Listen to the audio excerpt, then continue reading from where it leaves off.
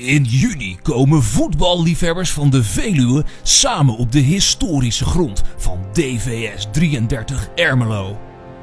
Helden van vroeger en talenten van morgen. Allemaal hebben ze dezelfde droom. In het voetspoor van de helden van weleer. Naar huis gaan met de beker van het Van Wijnen toernooi. Maanden wordt er naartoe geleefd.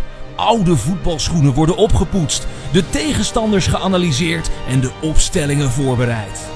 Allemaal dromen ze ervan de winnende maken in de finale. Naar huis gaan met de beker, uit volle borst meezingen met Egbert Dijkhuis. Omelet eten van de slager, bier drinken en genieten. Sfeer, passie en emotie, dat is het Van Wijnen toernooi. Meer dan een voetbaltoernooi.